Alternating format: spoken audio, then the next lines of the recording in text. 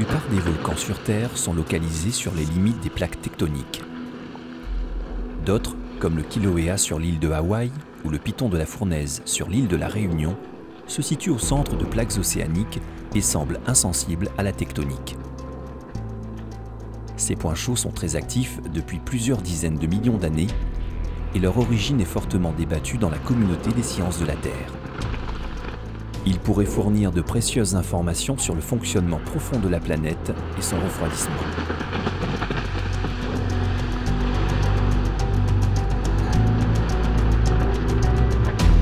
Beaucoup de ces points chauds sont localisés au milieu des océans, ce qui les rend difficiles à instrumenter. Les progrès techniques de ces dernières décennies permettent aujourd'hui de déployer en toute sécurité, pour de longues périodes d'enregistrement, des instruments de mesure sur les fonds océaniques.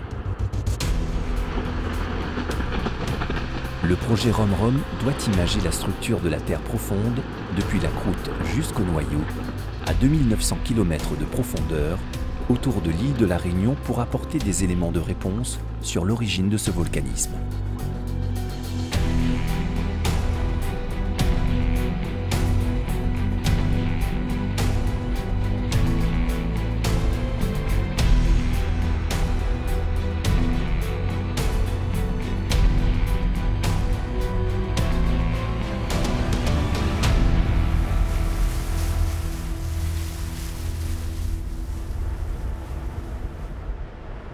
Première phase du projet ROM-ROM consiste à déployer des stations sismologiques sur les fonds océaniques autour du point chaud de la Réunion. Ces stations larguées depuis le navire océanographique Marion Dufresne descendent toutes seules jusqu'au fond après repérage de zones à peu près plates pour leur atterrissage. Le sondeur multifaisceau du Marion est mis à contribution pour cartographier les fonds marins et fournir aux scientifiques un relevé bathymétrique détaillé pour chaque instrument afin qu'ils puissent choisir le meilleur site à instrumenter. Là, normalement, là, la falaise elle devrait revenir comme ça. On devrait avoir la, la ride qui revient comme ça. Ici, l'intérêt, c'est de déployer 57 euh, stations de fond de mer, donc sismomètres euh, du fond de mer. Euh, 48 sont de l'Allemagne, donc c'est euh, ma partie du projet ici, et les autres sont de la France. Ce qu'on souhaite faire, c'est d'avoir des images en 3D de la Terre à profondeur, donc en dessous de le hotspot, le point chaud de la Réunion. C'est un volcanisme très spécial et ici c'est un très bon exemple de ça et du coup on a choisi de le rechercher à l'exemple de la Réunion. Mais la difficulté pour la Réunion, comme pour les autres points chauds, c'est qu'ils sont situés au milieu des océans. Et ils coûtent très cher et c'est techniquement très difficile d'instrumenter les océans.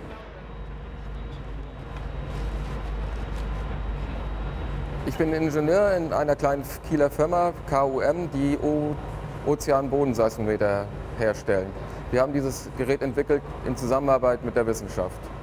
Das Ozeanbodenseismometer besteht aus verschiedenen Komponenten. Die Hauptkomponente ist das Seismometer, das die seismischen Wellen aufzeichnet. Des Weiteren gibt es eine äh, Rekordereinheit, die Daten auf, fest, auf einer Festplatte speichert. Versorgt wird dieses ganze System von maximal 148 Lithiumzellen. Das Ozeanbodenseismometer wird unten auf dem Seeboden abgestellt. Es verfügt über keinerlei Verbindung zur Oberfläche. Dadurch muss es später beim Wiedereinholen selbstständig nach oben auftauchen. Dazu befindet sich an den Ozeanbodenseismometer eine Release-Einheit, die von oben halt akustische Signale empfängt und sich dann ein Haken dreht, der den Anker dann löst.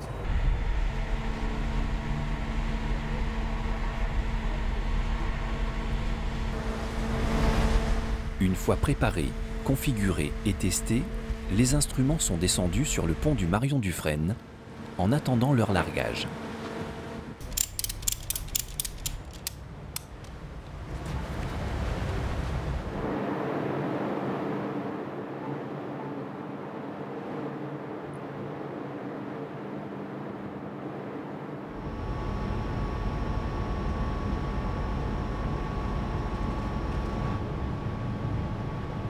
Tu veux venir au 230 par la droite 300 mètres.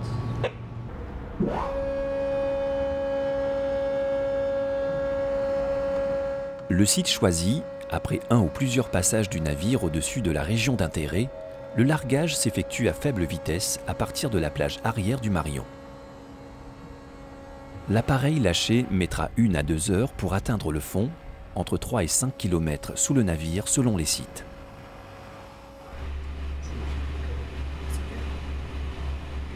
On peut y aller. Ok, on va pouvoir larguer à partir de maintenant. Il ne remontera que dans un an, sur commande, après avoir enregistré l'activité sismique globale depuis son site d'observation. So basically, we are trying to address all the points that link between the spreading centers, the plume, and how they interact. Will have effect on the center linear ray. So basically, our objective here is to look at the root of the plume. It is shallow, very deep, how it is connected to the ridge axis, and how it is influencing it. Is it influencing in a large way? Is the, mantle, the melt is coming at a depth or at a shallow depth? Nous avons euh, des longs transits le long desquels nous enregistrons des données géophysiques. Nous découvrons les fonds océaniques donc, grâce à un sondeur multifaisceau qui est sous la coque du navire et qui permet d'illuminer les fonds océaniques sur une bande d'une 10 à 12 km de largeur. Cela permet de mettre en évidence les structures des fonds océaniques qui sont largement méconnues. C'est une façon d'imager la structure de la planète. La bathymétrie, c'est l'équivalent de ce qu'on appelle la topographie sur les continents, donc c'est quand même l'objet de base pour étudier une région. Ouais, en fait, euh, on voit un petit truc euh, qu'on ne voyait pas là sur la carte de Samuel. Et en passant dessus avec la bâtisse multifaisceau, on voit que c'est un, une forme très circulaire, un, petit volcan, assez profond, à 5000 mètres, 5400 mètres de profondeur, euh, très circulaire avec un gros creux. Ce petit volcan a environ 1 km de rayon. Il culmine à, quand même à 5279 mètres avec un creux au milieu sur le cratère qui fait 5350 mètres et un kilomètre de rayon. Il est dans un creux, il est vraiment dans une des parties les plus basses de l'axe. Le bleu c'est le plus profond et le jaune, vert, rouge c'est ce qui est moins profond. Un truc sur la vallée axiale comme ça peut laisse penser qu'il doit être actif.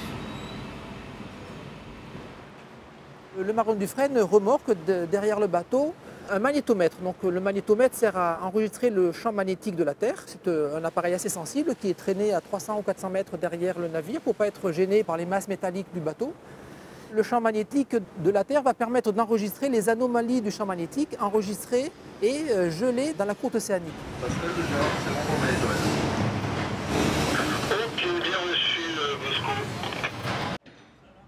Construit à partir d'une collaboration franco-allemande, le projet RomRom permet un regroupement de scientifiques autour de la problématique des points chauds.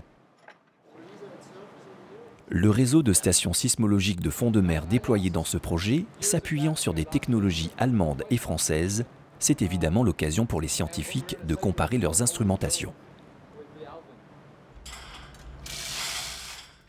Voici un sismomètre large bande euh, de la parc euh, INSU.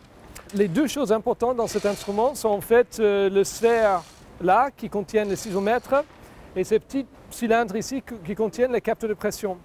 La raison pour laquelle on déploie ces, instruments, c'est pour enregistrer les tremblements de terre au fond de l'océan. Et donc le plus important des matériaux, c'est le sismomètre. Tout le reste, en fait, c'est juste ce qu'il y a pour pouvoir enregistrer ces données et puis que, que ça revienne à la surface. Les données sont stockées à l'intérieur de ce cylindre-là. Il y a un câble qui lie avec le capteur. Et ces batteries-là, c'est pour que ça puisse durer un an parce que ces instruments-là, comme c'est les sismomètres large bande, ils consomment relativement beaucoup d'énergie. En fait, la consommation, c'est de 0,7 watts, qui par rapport à une ampoule, c'est rien du tout.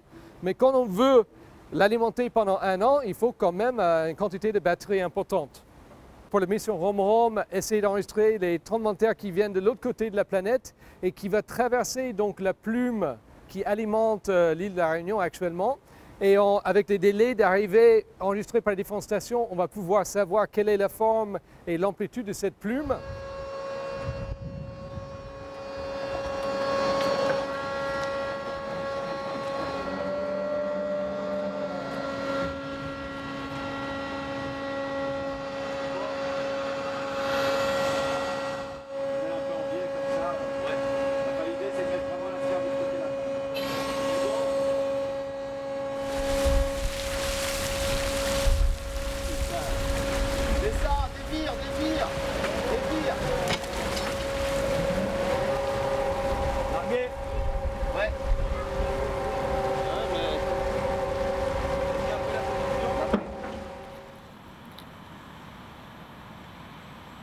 Pendant que les sismologues déploient leur réseau de capteurs pour ausculter la Terre, des physiciens de l'université d'Orsay modélisent en laboratoire des panaches mantéliques.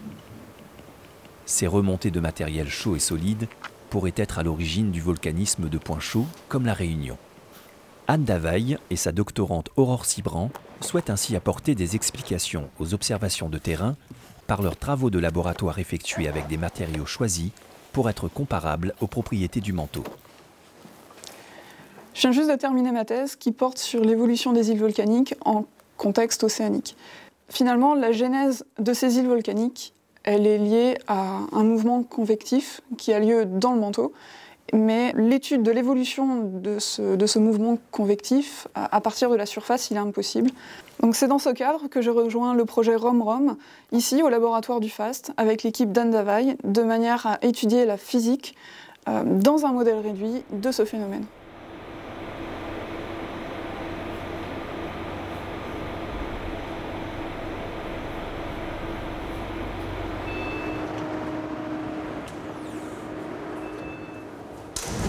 Juste de déposer le radeau et je vais aller chercher l'appareil photo pour le mettre en place. D'accord. Bon, bah alors moi, je m'occupe euh, de la fibre optique et du miroir parce que hier, il y avait des choses bizarres. Alors. Bon, bah je pense qu'on peut allumer le laser maintenant. Tu t'occupes euh, de la lumière.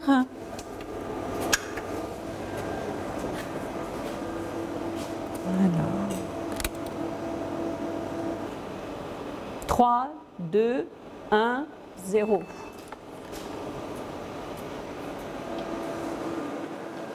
Ah là, on voit bien tous les panaches qui sont arrivés. Hein. L'expérience que nous venons de voir dans le laboratoire, je pense, est un bon exemple de ce qui peut se passer euh, dans le manteau terrestre. Évidemment, cette fois-ci, au lieu de se passer en quelques dizaines de minutes, ça va se passer sur des échelles de temps euh, de dizaines de millions d'années. Et en fait, on a vu très bien que ces panaches responsables des points chauds, hein, comme par exemple celui que vous pouvez voir ici, ont vraiment une durée de vie finie. Autrement dit, ce sont des objets qui vont impacter sous nos pieds pour donner euh, du volcanisme. D'abord une grosse tête, et ça, ça va donner un épanchement de lave très important que l'on appelle trappe. Alors, euh, dans le cas du point chaud de la Réunion, eh bien, le panache a sans doute euh, euh, eu son événement euh, de tête, d'impact de tête, de trappe, il y a 65 millions d'années sous l'Inde, et c'est ce qui aurait créé les trappes du Décan. Alors si on fait cet exercice, les expériences que nous venons de faire montrent que finalement la durée d'un panache de points chauds du type de la Réunion va être entre 40 et 200 millions d'années. Autrement dit, le point chaud de la Réunion actuellement pourrait en être au moment où il a déjà plus de connexion avec le bas du manteau, ou bien au contraire, il pourrait toujours être alimenté par un courant chaud puissant venant du bas du manteau. Alors pour l'instant, euh, les données qui existent ne nous permettent pas de trancher. Et c'est là où euh, l'expérience ROM-ROM se révèle extrêmement importante parce qu'on va enfin avoir une image un peu moins floue de ce qui se passe sous la réunion et donc pouvoir déterminer euh, si le panache ayant créé ce chapelet d'îles volcaniques est encore actif euh, pour de nombreuses dizaines de millions d'années ou bien s'il est en fin de vie. À l'Institut de physique du Globe de Paris, les géophysiciens analysent les données sismologiques pour imager le manteau, mais également les données bathymétriques et magnétiques qui fourniront des informations sur l'histoire de la formation et du déplacement de la lithosphère sur laquelle est posée l'île de la Réunion.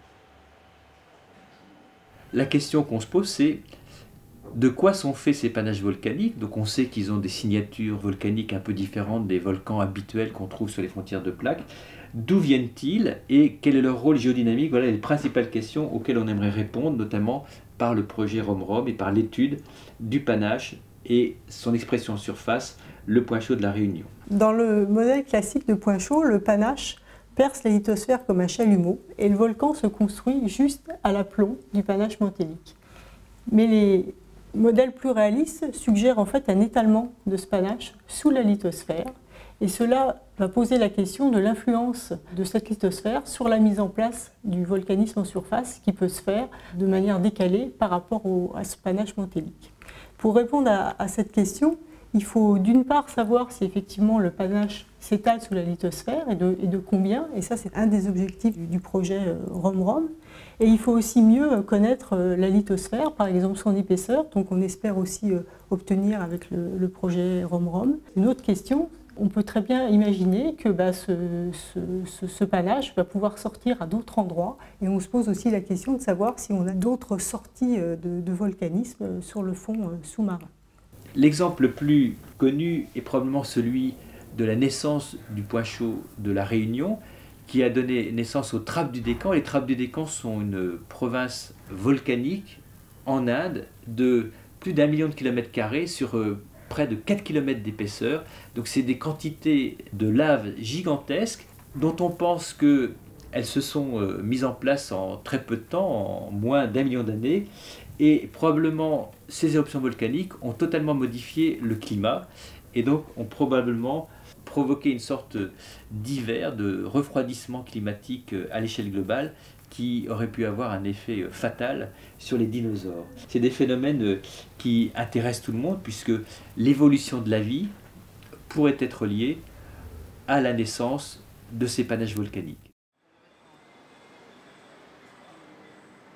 Si un grand nombre de stations ont été déployées sur les fonds marins autour de la Réunion, le projet ROM-ROM a aussi impliqué le déploiement de réseaux sismologiques sur les terres émergées comme Madagascar, les îles éparses dans le canal du Mozambique, les Seychelles, l'île Maurice et bien sûr l'île de la Réunion elle-même.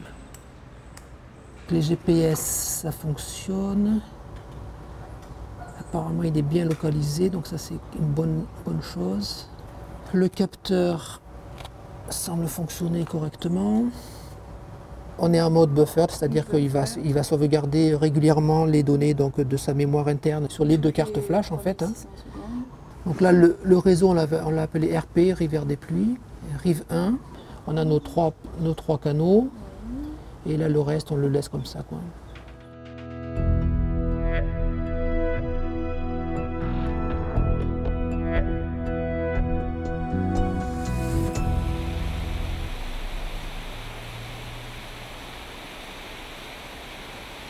Un des objectifs du projet ROM-ROM, c'est vraiment d'imager la structure du manteau et le, panache mantélique sous l'île de la Réunion. Pour cela, nous avons déployé un certain nombre de stations sur l'île de la Réunion elle-même, donc euh, pas sur les fonds océaniques, mais sur l'île, à terre. Et nous avons déployé une dizaine de stations qui ont fonctionné pendant un an, deux ans, trois ans pour certaines d'entre elles.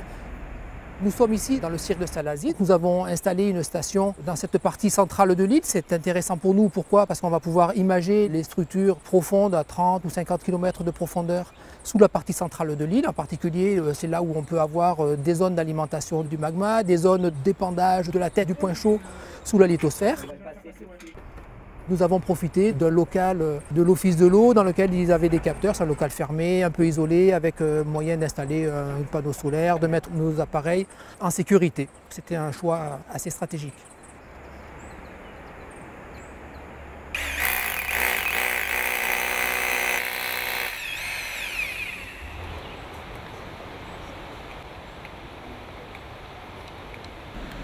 Il s'est connecté tout de suite.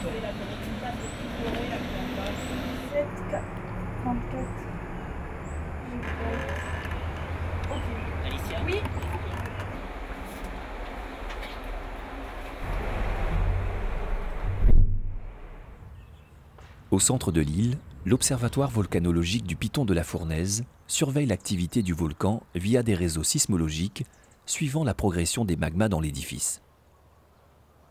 Parallèlement, par des réseaux de GPS et d'inclinomètres, l'observatoire contrôle les gonflements et la déformation du volcan lorsque le magma remonte des profondeurs, remplit des réservoirs et se propage vers la surface. On se trouve euh, actuellement dans la salle de gestion de crise donc, qui nous permet de suivre une crise volcanique donc, euh, quand une éruption est en cours. Nous avons la sismologie.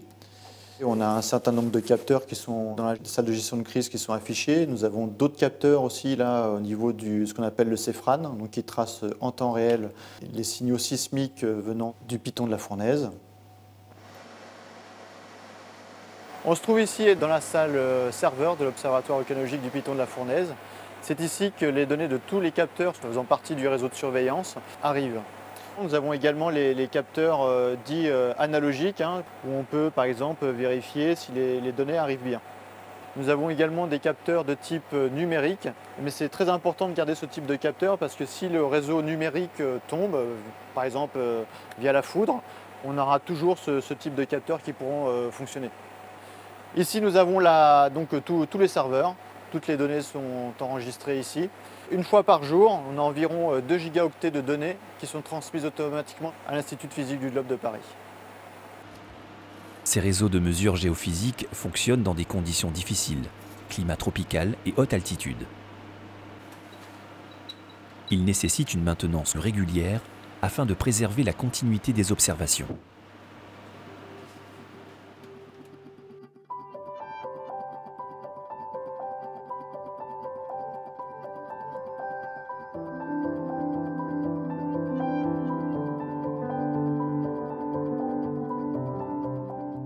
Les interventions sont souvent nécessaires sur le terrain pour diagnostiquer les problèmes ou effectuer les réparations de matériel. Aujourd'hui, Christophe Brunet effectue une opération de maintenance d'un sismomètre et d'un inclinomètre localisés au pied du cratère de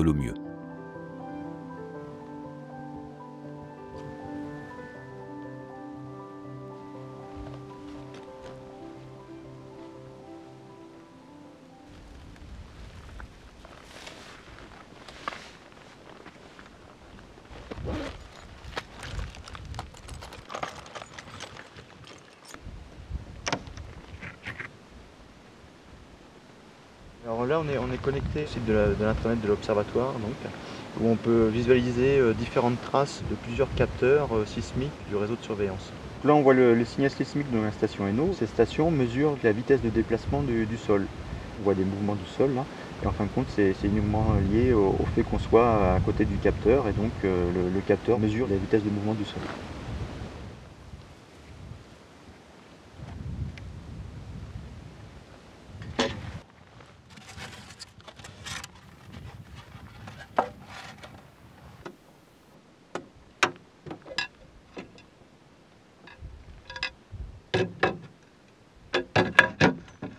Nous avons le coffret d'acquisition euh, numérique des signaux euh, des inclinomètres.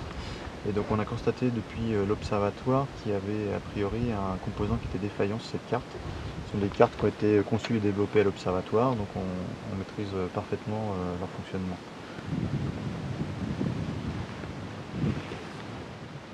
Donc on va remplacer la carte par celle-ci qu'on a réparé à l'observatoire et qui fonctionne parfaitement, qui a été testée.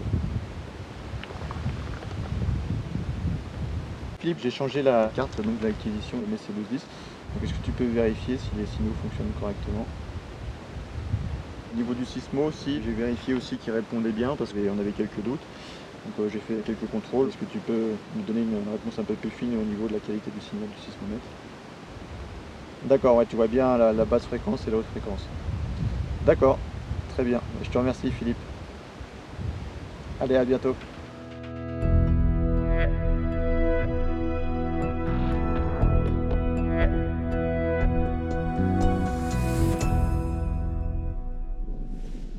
En plus des réseaux temporaires d'observation sismologique, le projet ROM-ROM utilise les données enregistrées par les réseaux permanents, comme le réseau français Géoscope, géré à l'Institut de physique du Globe de Paris.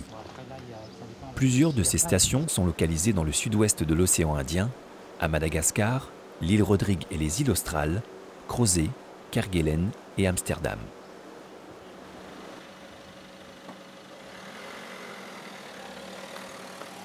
Sur l'île de la Réunion, la station installée depuis 1986 au fond d'un tunnel creusé par EDF pour l'hydroélectricité inquiète les chercheurs de l'Observatoire volcanique du Piton de la Fournaise.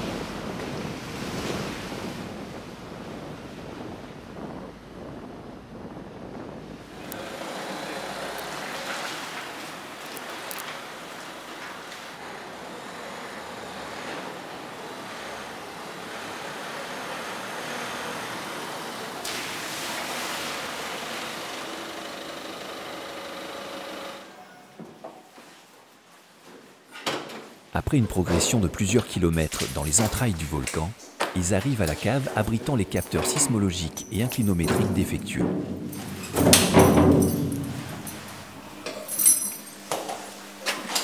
On a donc deux interventions à faire euh, ici, donc euh, l'une sur les 1 km de l'observatoire et l'autre donc sur les capteurs du réseau Géoscope.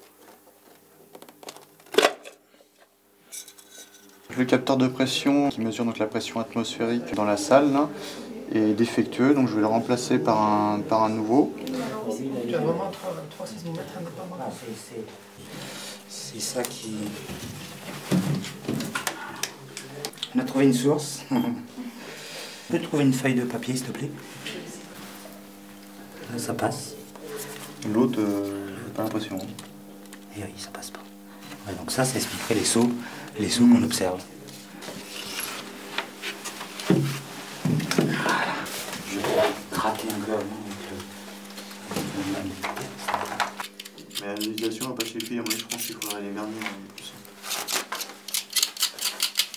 Du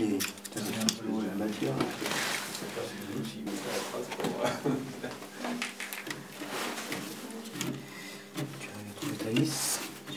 Comme l'explique Eleonore Stutzmann, sismologue à l'IPGP, ces stations de haute qualité transmettent les données en temps réel à Paris. Le réseau Géoscope est un réseau de stations sismologiques réparties euh, dans 13 pays et on a au total une trentaine de stations. Les stations sont représentées par les points de couleur et toutes les stations qui correspondent à un point rouge sur cette carte sont des stations dont les données sont envoyées en temps réel à Paris. Donc, euh, dans nos stations, on a des sismomètres. Là, sur cette image-là, vous avez un exemple euh, d'un sismomètre vertical et là, d'un sismomètre horizontal. Et ce qu'on enregistre, c'est le mouvement du sol suivant les trois directions, la direction verticale, la direction nord-sud et la direction est-ouest. Pour faire de la tomographie, on utilise euh, les enregistrements de tous les tremblements de terre. Donc là, sur la figure là, vous avez une carte des tremblements de terre sur 20 ou 30 années. Et ces tremblements de terre sont enregistrés par les stations du monde entier. Donc là, vous avez le réseau global. Et puis, euh, à ce réseau global, il va être complété par les stations du réseau ROM-ROM. Pour faire de la tomographie, on va mesurer le temps d'arrivée des différentes zones. Et suivant les trajets suivis par les ondes, on va être capable de déterminer les régions où les ondes se propagent plus lentement ou des régions dans lesquelles les ondes se propagent plus vite.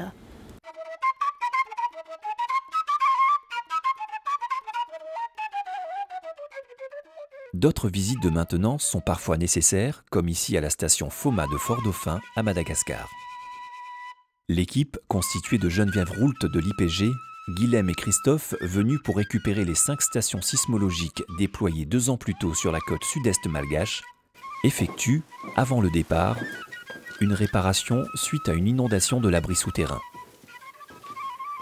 Ça, ça souvent commence, hein Ça seulement Ah, faut déboulonner quand même Oui, là c'est compliqué, il y a encore une autre derrière.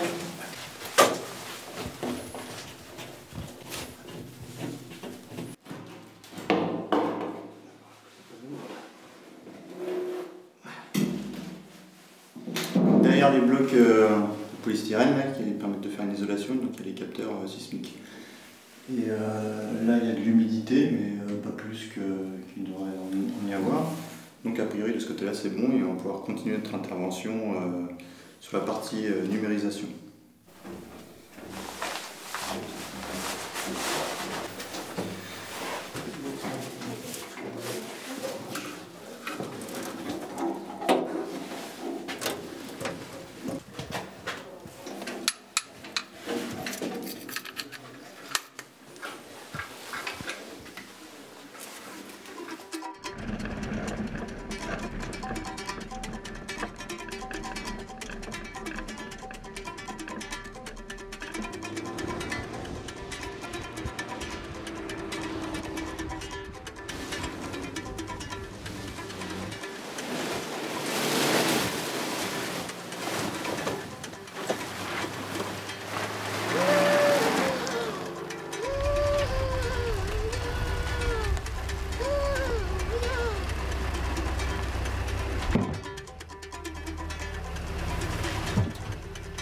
La remontée des 300 km jusqu'à Manakar est compliquée par l'état des pistes particulièrement dégradées et le franchissement de nombreux bacs.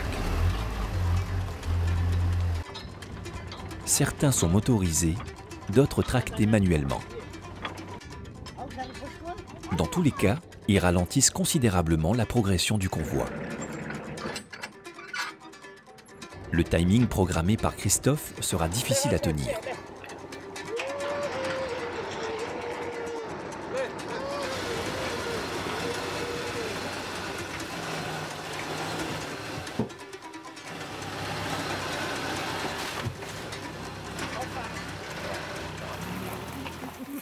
Premier site est atteint. À l'écart de la piste, l'approche finale est faite à pied, à la rencontre du gardien. Le positionnement des cinq stations temporaires du réseau Rom-Rom a été choisi en fonction des cibles que l'on souhaite étudier, le manteau sous la Réunion et la localisation des tremblements de terre.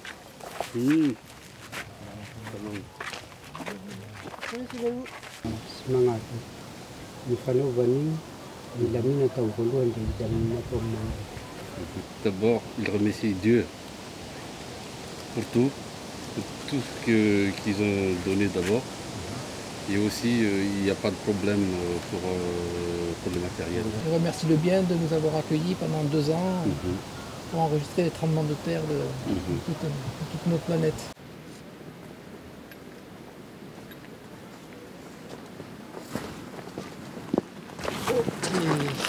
Alors ici on a le numériseur qui enregistre euh, les données du capteur. Il faut faire attention parce que la dernière fois il y avait des serpents. hein. Ah, ok. On mettre sur le bord, là, ce sera bien pour tout le monde.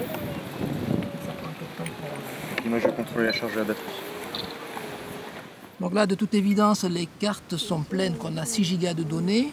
Il nous dit effectivement qu'il y a 205 jours d'enregistrés.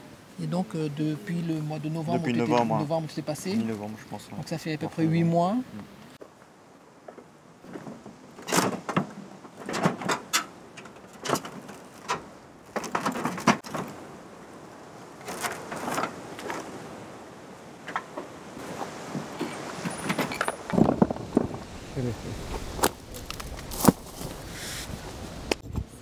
Hey Guillaume On a eu un locataire pendant un moment. Il est peut-être toujours ici. Hein. Là Guillaume, regarde, il y en a un là. Exact. Ah ben il y en a un autre là. Oui, oui, oui.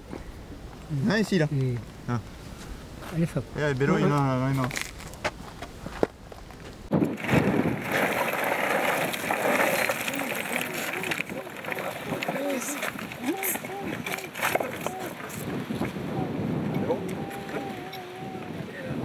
Est-ce qui les a attirés Ah, ils sont bien, ils sont un peu au chaud, un peu à l'ombre. euh. Allez, voilà. Voilà, c'est parti. C'est bon.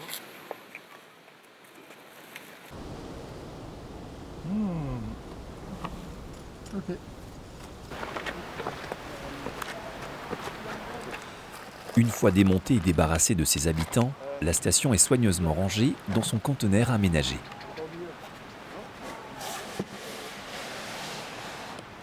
Il est temps de repartir pour le point suivant.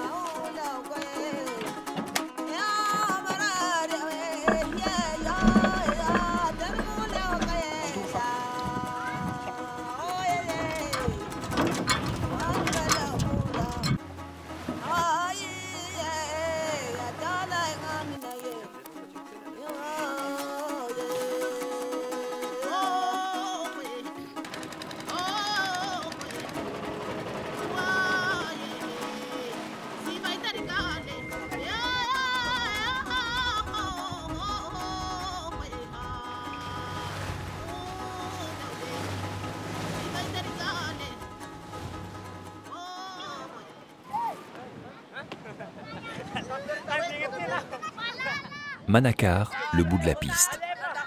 De cette préfecture jadis prospère grâce à son port fluvial, subsistent les bâtiments coloniaux et les épaves des péniches, reliant autrefois la ville à Tamatave par le canal des Pangalanes.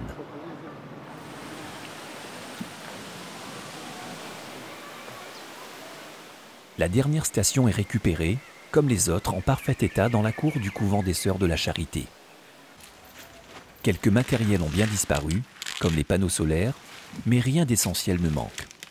On a démonté cette dernière station, là, Manakar.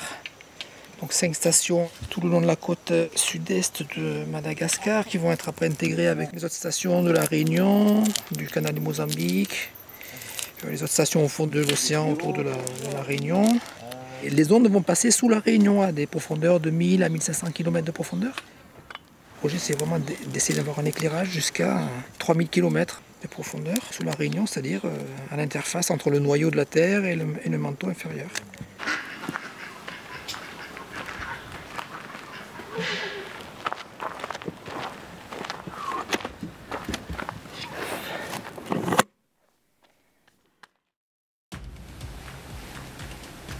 Un an après le déploiement des stations sur les fonds océaniques effectué avec le Marion Dufresne, c'est le Météor, navire océanographique allemand, qui les récupère.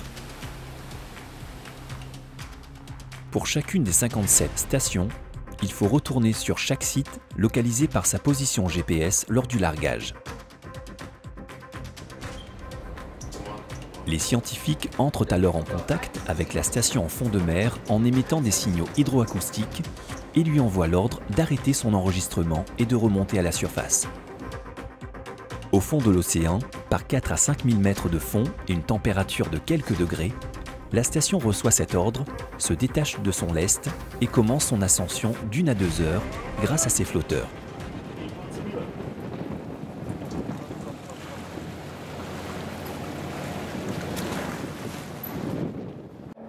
La récupération de l'instrument à la surface de l'océan représente un exercice délicat pour les personnels à bord.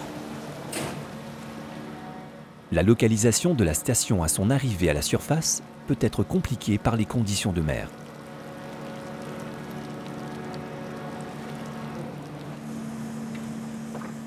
Pour mieux la visualiser, un drapeau, une lampe flash et un émetteur radio signalent sa position.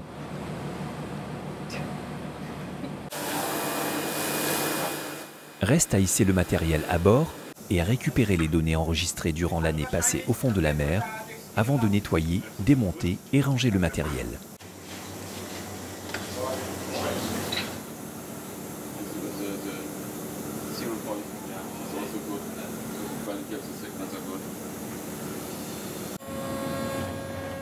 La station sera alors prête à être déployée sur une autre expérience de sismologie marine.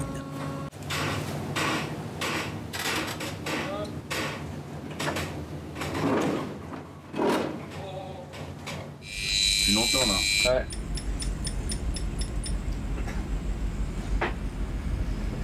T'entends quelque chose toujours ici Oui, oui. Ok, donc on va l'interroger sur sa distance. Donc il a reçu l'ordre. Et donc il envoie des pings tous les, je sais pas, 5 secondes pendant qu'il fait ça. Et quand il arrête, je pense qu'il fait peut-être une autre séquence où il fait ping-ping, c'est ça? Non, Non, il s'arrête juste- tout simplement. ouais. D'accord. Ah, Ah oui, le double. 1396. Ça, ça, c'est un vrai 80. double. Ça, Voilà, là tu vois qu'il monte là. ouais. Ouais. 1383 Ouais. et on entend un double ping, donc c'est bon, ça monte.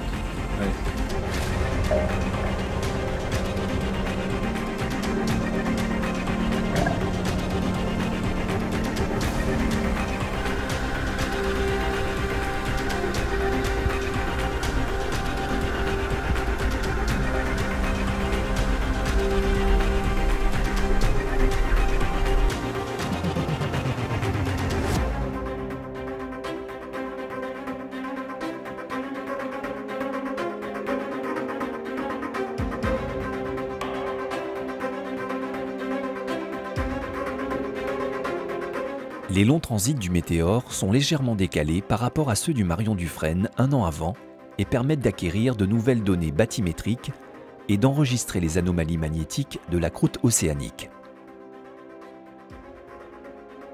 Avant chaque arrêt du navire pour récupérer une station sismologique, Jérôme Diman de l'IPG Paris remonte à bord le magnétomètre remorqué par le météore.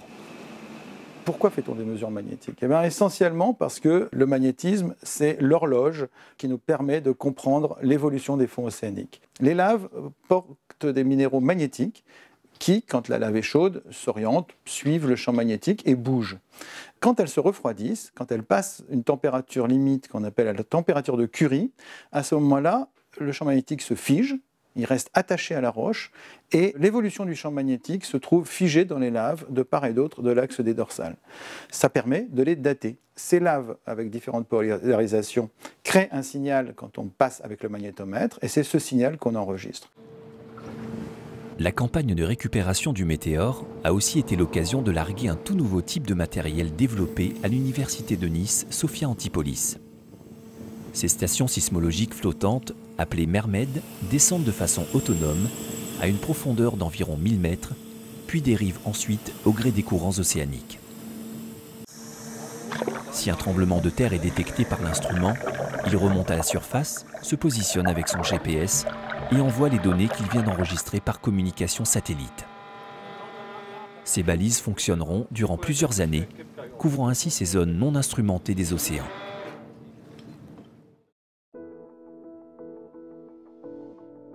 À l'université d'Oxford, les données sont analysées et traitées par des techniques de tomographie sismique pour obtenir un scanner de la totalité du manteau sous le point chaud de la Réunion.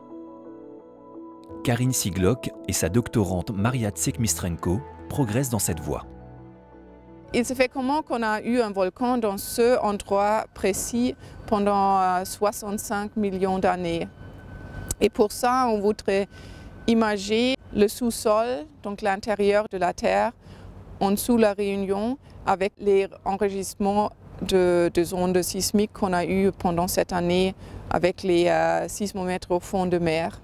Donc on n'a jamais eu tant de, euh, de, données du fond de mer pour une telle île et euh, on espère que ça va suffire pour résoudre cette question d'où vient la chaleur de la Réunion.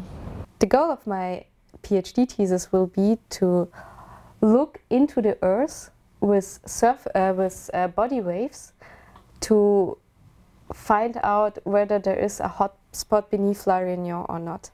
So for instance, if an earthquake is happening here in Pakistan, then we can detect the earthquake in the seismometers around La Réunion. And with that information, we see, for instance, that body waves are going from uh, Pakistan to La Réunion and detect, for instance, a low velocity signal. And that information we are using to find out what there is up to the core mental boundary.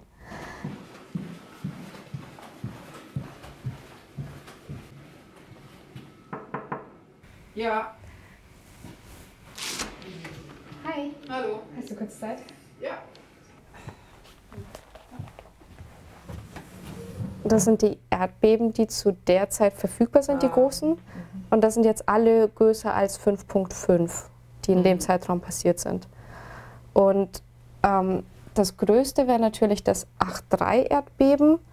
Aber das, was wir am besten sehen, ist das Pakistan. Genau. Sternchen, wo wir sind, wo wir gemessen haben, wo die Station. Okay, ja. Aber das ist nur, Aber- nur La Réunion. Okay, und das Erdbeben und das ist also 30, 40, oh, das ist über 90 Grad. Ja. Noch was vorbereitet von, von Kasra, der hat mir Mhm. das geschickt, von, von seinem Datensatz, den er bearbeitet. Das ist ein Schnitt durch, also ein Segmentschnitt durch die Erde. Hier ist Afrika, hier ist La Réunion. Mhm. Und das ist, was er mit seinen Daten sieht. Und ich denke, es ist noch nicht ganz fertig, aber es ist ein guter Anhaltspunkt. Das da ist die Subduktionszone unter Sumatra, Java. Das ist auf jeden Fall, denke ich, robust. Réunion, ja, da, das wäre natürlich schön. da ist schon ein Plum. Das wäre natürlich schön, aber da werden wir wahrscheinlich noch ein bisschen was dran machen müssen. Ja, Das- aber es sieht doch schon mal ganz gut aus. Au laboratoire Géosciences de l'Université de La Réunion, Guilhem Baruol et son doctorant John Scholz analysent les premiers résultats de cartographie du déplacement de la matière dans le manteau. Ah, par contre, là, c'est- je vois c'est intéressant, là, tu as fait quelques mesures sur la ride, là. Toutes les mesures sont parallèles en fait euh, Mm. à la ride. Ce sont des mesures qui prennent en compte euh, l'orientation du capteur que tu as corrigé dans le travail que tu as fait Ouais, avant. ouais. D'accord Donc là, euh, ça sont des vraies orientations Oui, euh, c'est gé- ça. géographiques. J'ai déjà fait une station allemande. Ah, d'accord. Et du coup, c'est de, de nulles mesures. Oui, d'accord. Mais, c'est potentiellement euh, compatible. Quoi. Exactement. D'accord. C'est pas trop, trop clair. Du coup, Mhm. c'est un système qui n'est pas complètement euh, compris et il n'est pas une, une explication facile. D'accord. Dans les articles qui ont été publiés donc sur l'anisotropie sur les rides euh, Est-Pacifique en particulier, donc on a des, là, des plaques qui s'écartent très rapidement donc dans, le, dans le Pacifique et le manteau donc il, est, euh, il se déplace perpendiculairement à la ride. Et là tu vois, tu, tu vois quelque chose de différent, tu as les plaques qui se déplacent comme ça et toi quelque chose qui est plutôt parallèle à la ride. Oui. C'est peut-être quelque chose de nouveau là, que, Exact. une ride très lente, euh, effectivement, le- que le manteau il est un, intéressant, ouais. un comportement particulier. Quoi. J'ai commencé avec la station Mhm. euh, à Madagascar. Et celle-là, tu as quand même une mesure qui est bien, qui montre une direction perpendiculaire à la côte, donc ça c'est bien. Donc là, ça, ça peut avoir une signification. Est-ce que c'est lié à la signature du manteau quand l'Inde s'est détachée de Madagascar, par exemple? C'est quand même l'objectif du, du projet Rome-Rome, d'aller d'arriver à cartographier tout ce qui se passe dans le manteau supérieur. Ok. Donc attends, je vais quand même retrouver l'image d'Alessandro, là, qui me semble intéressante. Lui, il voit relativement peu de matériel chaud et peu de déformation sur la ride sud-ouest indienne. Il a une résolution de l'ordre de 500 km, Mhm. alors que toi, tu as une résolution de 20 ou 30 km dans le manteau supérieur. Donc, euh, on n'observe pas exactement les mêmes choses à la même échelle. Quoi. On a une petite structure peut-être euh, qui est assez étroite, 20-30 km, entre les deux plaques qui s'écartent et le manteau qui se, qui se faufile là-dedans, comme dans une espèce de, de tunnel au fur et à mesure que les, que les plaques s'écartent. Ce qui est intéressant là, c'est qu'on voit bien une forte anomalie sous l'île de la Réunion. Mais par contre, elle est en bordure d'une grosse anomalie qui remplit tout l'espace entre la, Mhm. la Réunion et Madagascar. Si ça se confirme par les travaux de Maria et de, et de Karine, on est loin du, du modèle où on a un point chaud qui monte euh, de façon linéaire comme un tuyau et qui euh, transperce la lithosphère et qui fait le, et qui fait le volcan. Quoi. Là, on, on Mhm. aurait quelque chose, une masse qui arrive, qui se retrouve coincée sous la lithosphère à un endroit où elle n'arrive pas à transpercer et puis qui arrive à ressortir à un endroit euh, 200 ou 300 km Mhm. à l'est, sous la Réunion, parce qu'il y a une structure euh, lithosphérique qui est euh, peut-être plus facile à, à- à transpercer. Peut-être que le volcan il est installé là parce que le magma a plus de facilité à sortir à cet endroit-là que euh, 100 ou 200 km plus à l'ouest ou plus au nord. Donc ça, ce sont des choses complètement nouvelles et qu'il faut, euh, qu'il va falloir euh, explorer.